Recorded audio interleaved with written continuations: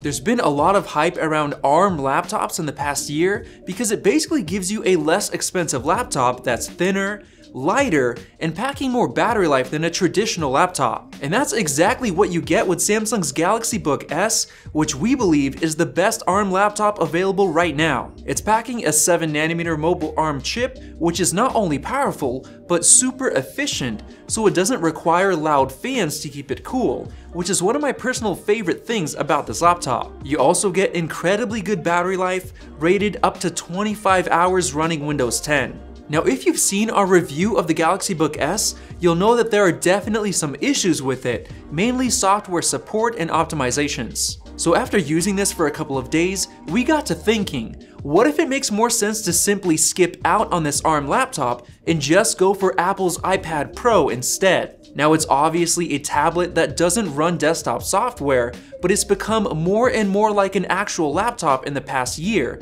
thanks to tons of software improvements and new apps. Now if you want to learn more about that, be sure to check out our iPad Pro in 2020 review after this video. So to make our iPad Pro comparable to the Galaxy Book S, we had to make sure it's a 256GB model with LTE connectivity, since that's what you get with the Samsung. We also had to get a keyboard case, and the Brydge Pro case for $100 to $150 on Amazon is the best out there. However, it doesn't pack a trackpad, which is an exclusive feature that's coming to the Brydge Pro Plus, which is shipping next month. Together with the regular Brydge Pro keyboard, it brings the price of the iPad Pro to around 1150 to $1200, a couple hundred more than the Book S, and that's with the 11-inch iPad Pro model, not the larger 12.9-inch, which is more expensive and is a better fit as a laptop replacement. Another downside of the iPad is that you don't get true cursor support like you do with the ARM laptop. Now there are rumors that Apple is working on a smart keyboard with a built-in trackpad, which shows that there's a chance Apple will be adding cursor support, but there's no guarantees. Getting into the comparison, the Book S is quite a bit thinner and lighter compared to the iPad Pro with its keyboard case, but the iPad has a much smaller footprint thanks to the 11-inch size. Samsung did an excellent job with their hinge, being easy to open, but sturdy as well. The hinge on the Brydge keyboard isn't as easy to open, but it seems like it's even more sturdy, and it has the added benefit of laying flat on a table. Looking at them side by side, the display on the Samsung is obviously much larger, but since it's using a 16 by 9 aspect ratio, you only get a bit more vertical space than on the iPad, which is surprising. And you can obviously remove the keyboard if you want to use the iPad like a tablet for even more vertical screen space. Since the keyboard case has to match the 11 inch size of the iPad, the keys are a bit scrunched together, so it's not as comfortable to type on compared to the Galaxy, which has a full-size keyboard with keys that feel better than on the Brydge keyboard. They feel really nice and tactile, just what you'd expect from a laptop. And of course, the trackpad on the Book S is the star of the show, with true cursor support with Windows 10. It's definitely not as good as a MacBook trackpad, but it's actually decent compared to other Windows laptops. Now comparing the displays, the iPad Pro's display is quite a bit brighter, and it's very color accurate with DCI P3 wide color gamut. The major downside of the Galaxy Book S is that the screen is very reflective alongside the lower brightness, so it's definitely harder to see the display when you're in a bright room or outside. The Samsung's display is a touchscreen, but it doesn't work nearly as well as the iPad Pro, which features 120Hz ProMotion technology, so it's super smooth and fluid, and this also means that the Apple Pencil gets incredibly low amounts of latency. So the drawing and note-taking experience is excellent. A huge benefit is that the speakers are really nice and loud on the Galaxy Book S, sounding quite a bit louder than on the iPad Pro. However, the quality itself was a bit dull and muted, especially in the highs, compared to the iPad. The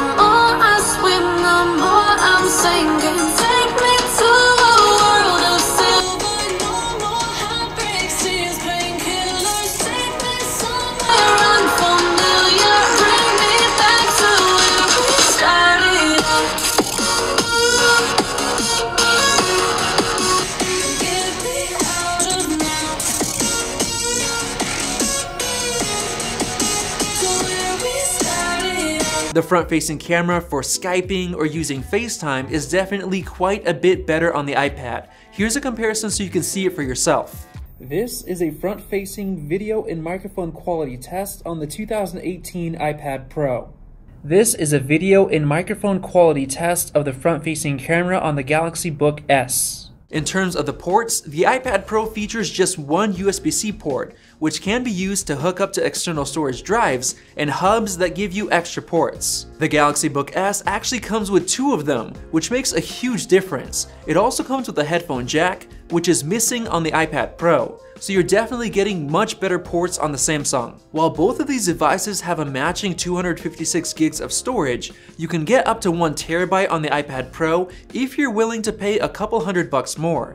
However, the Samsung comes with a micro SD card slot, allowing you to get an extra 1TB of storage at a much lower price. File management was definitely better on the Samsung compared to Apple's Files app, which just doesn't have as much functionality, but it's been much improved with iPadOS. Even though the battery on the Galaxy Book S is only around 40% larger than the battery on the iPad Pro, it's rated for 25 hours of battery life compared to around 10 on the iPad Pro. Now in the real world, we definitely didn't see that much battery life, we experienced around 16 to 20 on the Galaxy Book S, depending on what you're doing, which is definitely better than the 6 to 8 hours we saw on this iPad Pro. One thing we did notice is that the standby battery life was worse on the Samsung, draining more battery life while not in use compared to the iPad Pro. Now before we talk about software differences, I want to get into performance. When looking at standard benchmarks like Geekbench 5 CPU test, the iPad Pro is getting around two times more multi-core performance, which is surprising because it's around a year and a half old. Now we usually run the graphics test in Geekbench, but it doesn't work on ARM laptops, so we had to skip that test. We instead found a graphics browser test called MotionMark version 1.1, and here, the Galaxy Book S scored 102 points compared to 694 on the iPad Pro, which is a massive difference. We also tested the Speedometer 2.0 browser benchmark, which shows us general browser performance for basically anything on the web. In this test, the Galaxy scored 59.3 points compared to 137 on the iPad Pro, so you're definitely getting a much better web browsing experience on the iPad. Now we actually ran this test on three different browsers on the Samsung. We ran Firefox, the new Microsoft Edge, and Google Chrome. And the new Edge scored the best with that 59.3 score we achieved since it's the most optimized for ARM chips. Now putting benchmarks aside, we decided to compare the real world performance between the two. We first played Asphalt 9 and on the iPad Pro it runs incredibly well, perfectly smooth at 60 frames per second. The Galaxy Book S on the other hand was horribly choppy. The FPS was so low that it was basically unplayable. We also downloaded Photoshop on both of these devices, and even with 8GB of RAM on the Book S compared to 4 on the iPad Pro, the experience was much more smooth on the iPad. For example, the spot healing brush was much more responsive and quicker on the iPad than on the Book S. Now while the Samsung does get Windows 10, it doesn't support 64-bit apps, which are basically most of them, including the most powerful apps, so you're very limited in terms of the apps you can use. Another downside is that since it runs Windows 10 and not Android, you don't get access to any mobile apps either. On the iPad Pro, you obviously don't get any desktop programs, but you get access to a massive library of iOS apps, which are all very optimized. A lot of them have also been updated to use more and more of the iPad Pro's power, so they all work very well. This means that gaming is gonna be many, many times better on the iPad than on the Book S. But of course, you don't get a cursor and real full-size desktop apps like the QuickBooks Online app for business owners. On the other hand, the iPad does have its own highly optimized app for that. So it comes down to the final question, is it worth buying an ARM laptop right now when you could just buy an iPad Pro? Honestly, I still think it's a bit too early for ARM laptops, since a lot of the desktop apps haven't been updated for 32-bit or optimized for ARM chips.